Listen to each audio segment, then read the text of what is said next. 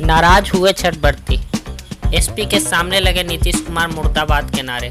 छठ पूजा का आज दूसरा दिन है और आज शाम में ही खरना की पूजा की जाएगी। इसके लिए काफ़ी संख्या में छठ व्रती और उनके परिजन गंगा नदी के किनारे गंगा जल लेने पहुँचे थे। वहीं आज सुबह मुख्यमंत्री नीतीश कुमार पटना के आर ब्लॉक में दीघा के बीच निर्माणाधीन सड़क का निर्माण निरीक्षण कर रहे थे। सीएम के केबल कोड की वजह से दीघा से पहले यातायात रोक दिया गया था। यातायात रोकने के वजह से लोग को गंगा जल लेकर ट्रैफ़िक जाम में फंसे रहे। इस वजह से छठवर्ती नाराज़ हो गए और जमकर सीएम नीतीश कुमार के खिलाफ मुर्दाबाद के नारे लगाने लगे। भीड़ ने एक साथ सीएम नीतीश कुमार मुर्दाबाद का नारा लगाया। इस वक्त सिटी एसपी स्वर्ण प्रभात भी मौजूद थे।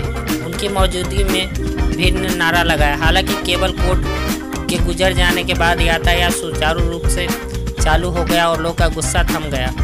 लोगों के बीच काफ़ी नाराज़गी देखी जा रही है। भीड़ में शामिल कुछ लोग ने कहा कि छठ व्रत के लिए हम गंगा जल लेने गए थे। कुछ लोग गंगा जल लेने जा रहे थे। ऐसे में सीएम के केबल कोर्ट की वजह से यातायात रोक दिया गया। यातायात रोके जाने के कई किलोमीटर लंबा जाम लग गया था। इस, इससे लोगों को काफ़ी परेशानी हुई।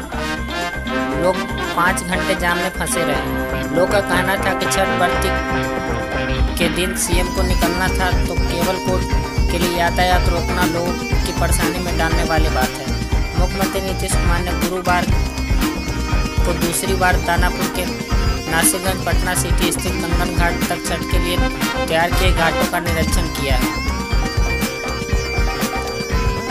निरीक्षण के बाद मुख्यमंत्री ने कहा कि जिन घाटों पर पूजा होनी है, वहाँ सारे इंतज़ाम हो गए हैं। मुख्यमंत्री ने स्टीमर से लगभग ढाई घंटे तक गंगा के घाटों का निरीक्षण किया। इस दौरान वह मौके पर मौजूद अफसरों को निर्देश देते हुए भी देखे।